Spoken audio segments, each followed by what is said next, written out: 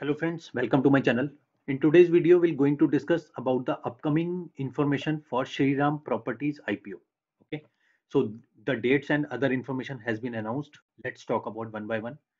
The issue date is from 8th to 10th of December 2021. The fresh issue of 250 crores.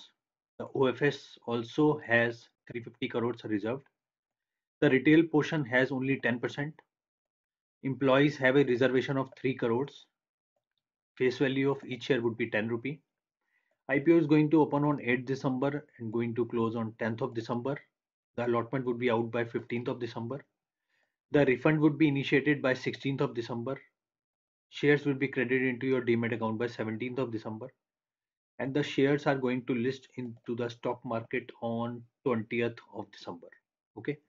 So rest of the information which is price and gray market premium is still pending so once it will be out i will make a dedicated separate video onto it. Till the time happy investing. Stay tuned. Thank you so much